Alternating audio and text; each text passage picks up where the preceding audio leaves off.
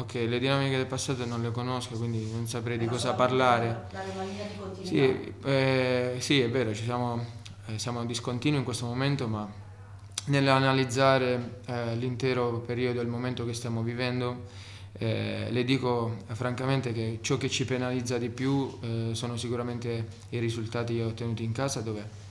non siamo riusciti, non stiamo riuscendo da, da sette partite credo ad ottenere eh, la vittoria in casa davanti ai nostri tifosi ed è secondo me questo che ha generato eh, questo scetticismo, questo malumore, questa rabbia eh, e credo che ehm, il motivo per cui eh, oggi dopo un pareggio a Potenza è chiaro, arrivato in questo modo, eh, chiaramente arrivato in questo modo, ci sia, ci sia così tanta rabbia Diversamente, eh, nel, se avessimo fatto molto ma molto meglio nelle gare interne davanti ai nostri tifosi, probabilmente questo risultato di oggi, per come è stato raggiunto, sarebbe stato visto comunque in maniera, in maniera diversa. E il momento eh, globale, il momento che stiamo vivendo è, è esattamente questo, delle difficoltà sicuramente eh, in casa che ci portano poi a vivere male anche questo, questo tipo di partite, questo tipo di risultato. Vista sul giorno la partita sembrava quasi in cassaforte perché Nerz sembrava praticamente tutta la nostra parte, poi ultimi 15 minuti, confusione totale, abbiamo regalato punizioni anche con ingenuità clamorose e abbiamo perso un po' il bando della matassa prima ancora del, del pareggio. Cosa è successo nel finale per una squadra che eh, sapeva benissimo cosa stesse maturando in, questo, in quel momento? Sì, se entriamo ora nell'analisi della gara, eh, sicuramente nel primo tempo eh, non, si, non, non, una buonissima gara, anche se eravamo partiti con un'occasione eh, di Ricciardi e poi dopo, dopo 4 minuti eh, abbiamo preso un gol che si poteva, si poteva evitare e purtroppo da questo punto di vista siamo ricascati ancora nell'errore. E poi la squadra ha provato a reagire con, eh, sinceramente con poche idee, con pochi, trovando pochi spazi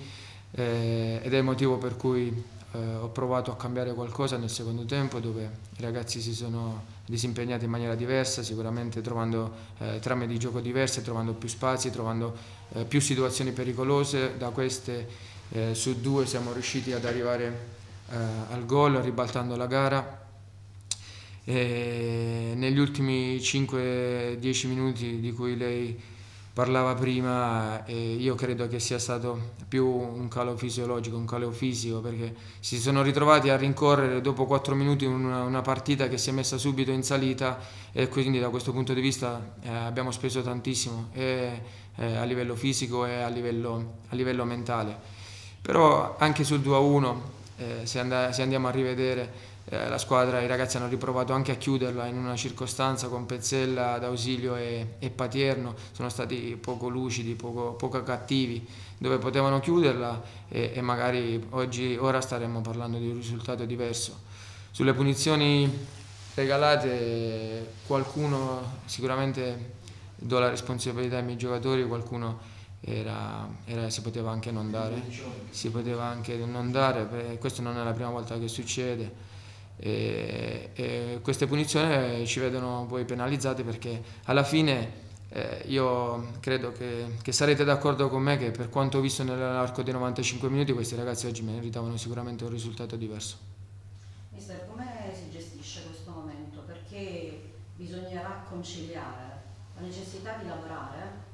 e di lavorare tanto, immagino lei punti sul lavoro perché è sempre stata la cura quella che lei ci ha sempre detto e dettato e dall'altro lato gestire invece un ambiente che oggi vede dei colpevoli e li ha indicati questa sera. Ha indicato mister Pazienza, che ancora una volta è stato appellato col termine presuntuoso e le chiedo anche eh, come ha gestito, immagino a livello morale, non bene questo termine presuntuoso in questi giorni e lo vede anche nell'area tecnica, nel direttore Perinetti, nel direttore sportivo eh, Condò che questa sera sono stati bersagliati quanto e come lei. Come si gestisce, come si concilia questo momento? Beh, una,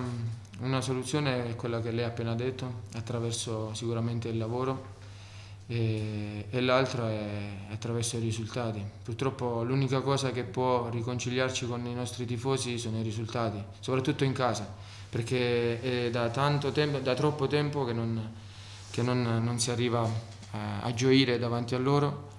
e questo, e questo ci vede penalizzati e questo ha creato tutto ciò di cui ora stiamo parlando. Eh, per quanto riguarda l'attacco eh, alla mia persona, in, eh, nei termini della parola presuntuoso, non so darle una risposta, una motivazione, però eh, a me piace pensare che eh, a volte, eh, non so se a voi è capitato, l'ho già detto anche prima, quando si viene feriti e si litiga, si discute, si dicono a volte delle cose che, che magari poi col tempo non si pensano veramente.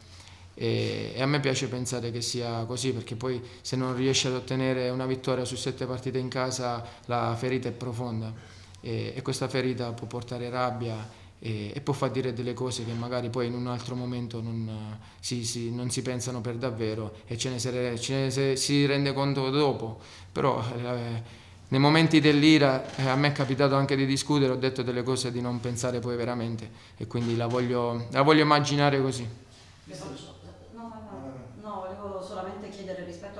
dichiarazioni che abbiamo ascoltato del direttore Perinetti che le ha confermato la piena fiducia, però lunedì c'è il derby con la Casertana, oggi ce l'eravamo detto, le richiedo, si sente in discussione, sente la sua panchina in bilico e decisiva la sfida della Casertana in questa direzione? E ora il mio primo pensiero deve essere preparare al meglio quella di lunedì come, come ho sempre fatto, poi è chiaro che... Eh, quando, quando, non arrivano i risultati sperati, ma questo vale sempre, eh, quando si arriva ad Avellino in una piazza così importante, così calda, è chiaro che uno gioca per un risultato solo e quando questo non lo raggiungi eh, le possibilità e, e la voglia che, che, che, che, poi navighi questo pensiero c'è sempre, ma fa parte del lavoro. Noi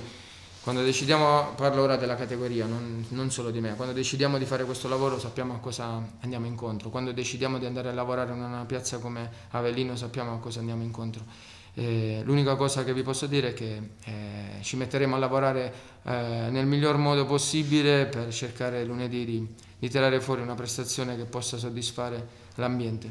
Mister, un'ultima domanda. Le, le riferisco a quello che ha detto Armelino, ha detto se non facciamo più blocco unico, riferito alla Se non facciamo? Blocco unico, riferito anche alla compattezza con i tifosi che oggi si è praticamente lacerata con quella contestazione durissima a fine, a fine gara, non so se lei ha sentito e ha assistito anche a quello che è successo con il passaggio dei, dei calciatori. Eh, significa um, aver um, mandato quasi all'aria un'intera stagione. Eh, credo che insomma questo è il problema, il problema in questo momento è proprio questo, questa profonda spaccatura tra la tifoseria e la squadra. Come si ricompone? Perché al di là delle sue parole, ora stiamo parlando di un, un problema non,